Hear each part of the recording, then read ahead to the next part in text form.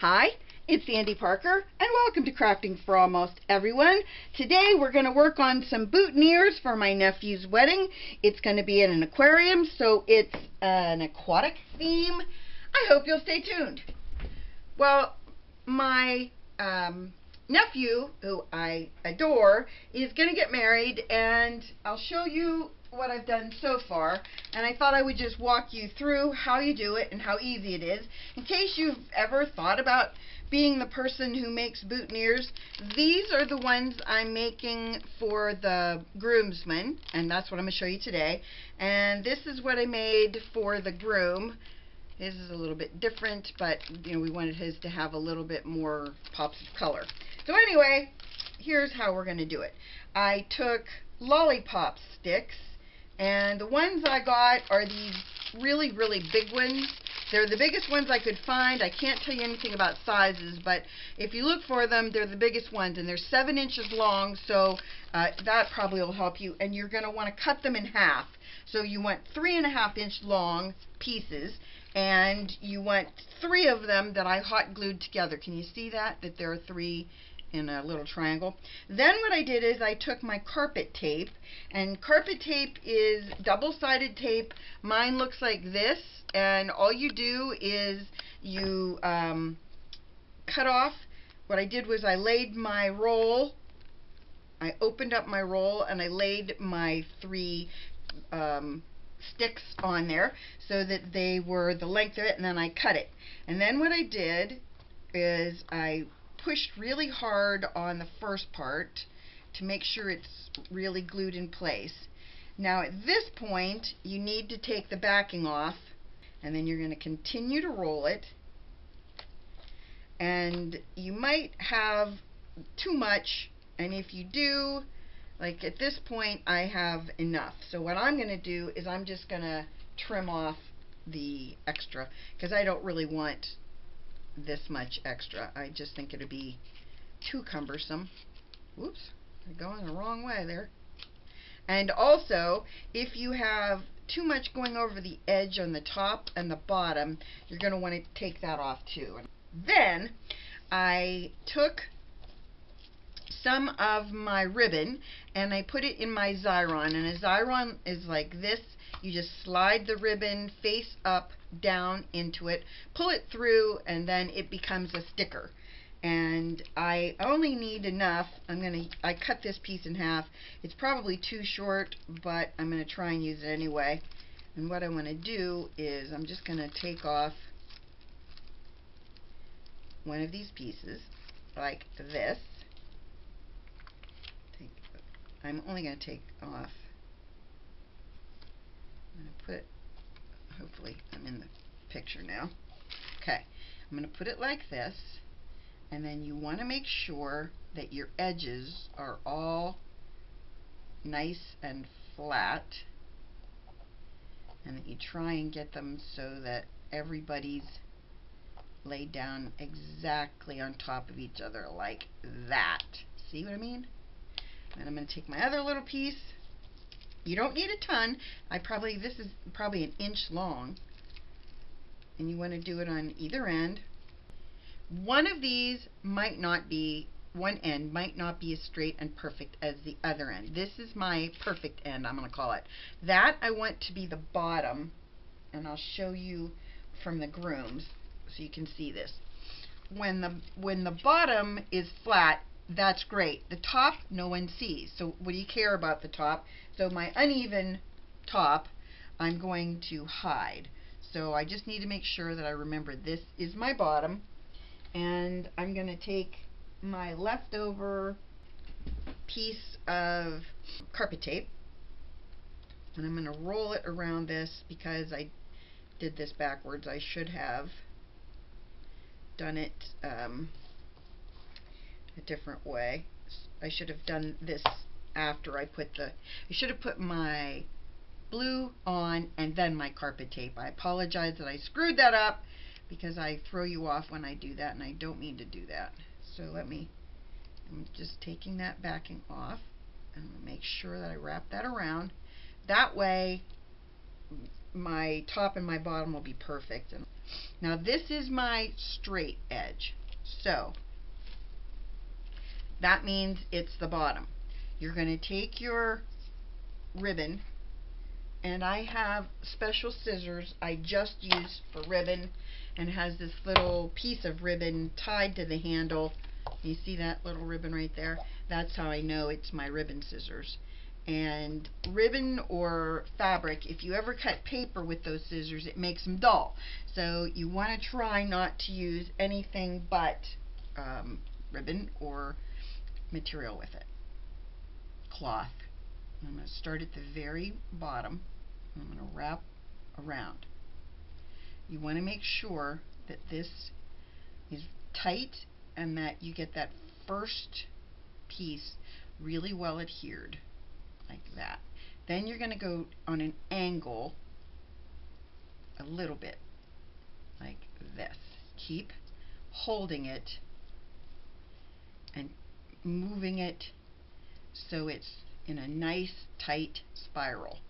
And that's why you put the carpet tape the whole length of this because as you're doing this it ensures that you're um, not going to have everything un un um, roll. Unroll? Is that the word? I think it is and I would also recommend if you're doing something as small as this, I would probably go with a thinner ribbon than this because I don't think you'd have these gaps like I'm having if I went with a thinner ribbon.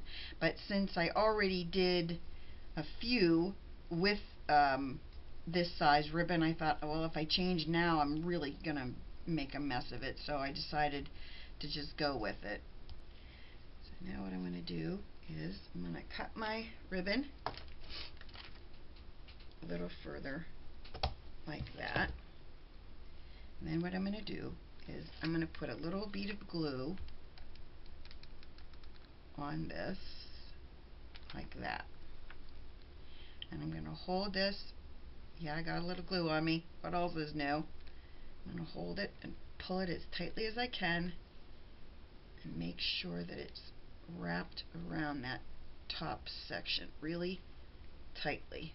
Okay, next part is, so what we're going to want to do is I'm going to put that that um, line of, uh, what do you call that?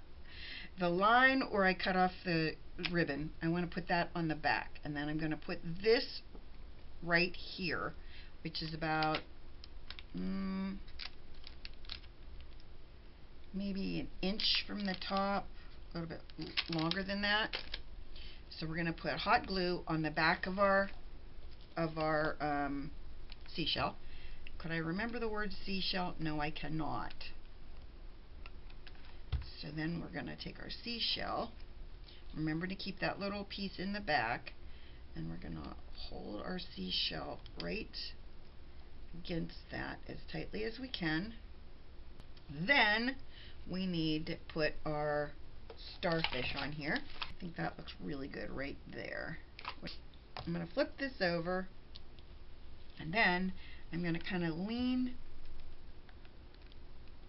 this up a little bit so that I have a big gob of glue on the back of that um, starfish. Then I'm going to use a pin. Now when I did this the other day, I not only glued the pin, but I also used um, ribbon, no not ribbon, I used um, a needle and some thread and I basically sewed it in place. So what I did was I put black thread and I just um, put a went through the back of my ribbon here and then what I'm going to do is I'm going to tie this into a knot at the end because I want to make sure that um, I'm able to have this well secured. Then I'm going to take this and I want the bottom of my um, pin. I'm going to I'm going to open it up and take the pin part. This is the top of my um, boutonniere. So what I'm going to do is I'm going to run my needle through that piece then I'm going to put it, pull it tight, and I kind of know where that piece is. So then I'm going to take it and I'm going to go right through a little bit of the ribbon at the top or where my other part is. I have to pull this nice and tight. So I I have it so that my pin is as tight as I can get it, but you're going to need to then go in through another spot. I'm going to go in through, sorry, this is hard to do when I'm holding it in place and trying to do it where I'm not anywhere near the uh, near the um, boutonniere. I'm just going to do another little um, stitch into the ribbon. So now it's it's sewn, but what I what I'm going to do is I'm going to pull it nice and tight, but I'm also at the same time I'm going to put hot glue on the back of the pin.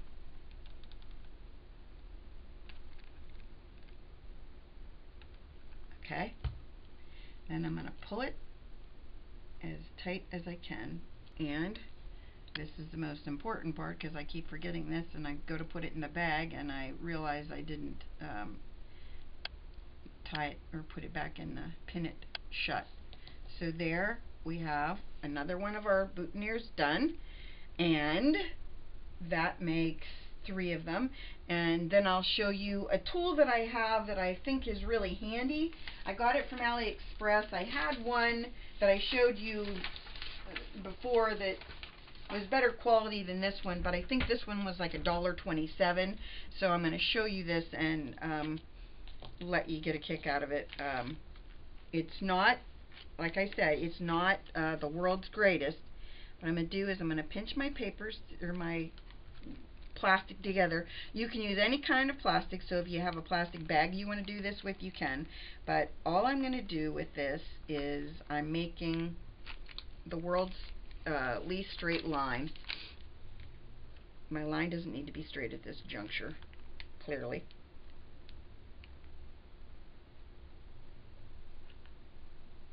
Then, I know I'm not anywhere near the beginning of my line. Yep. Then I'm just going to put this one in here. and I'm going to seal the top.